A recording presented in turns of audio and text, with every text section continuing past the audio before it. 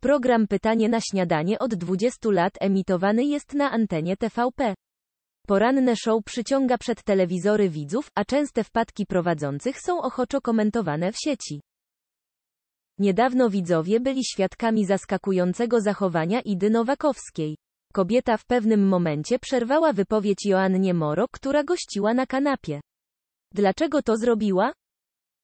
W czwartkowym odcinku PNS pojawiła się Joanna Moro. Kobieta wyraziła swoje poparcie względem Ukraińców.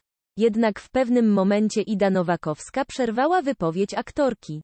Wszystko przez duże problemy techniczne, które uniemożliwiły kobiecie kontynuowania wątku. Publika nie mogła usłyszeć, co mówi Moro. Jej transmisja się zacinała, przez co dialog z prowadzącymi był w zasadzie niemożliwy.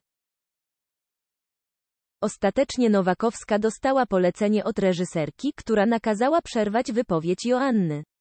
Fani byli rozczarowani, gdyż nie mogli w pełni zrozumieć, co ma do przekazania artystka.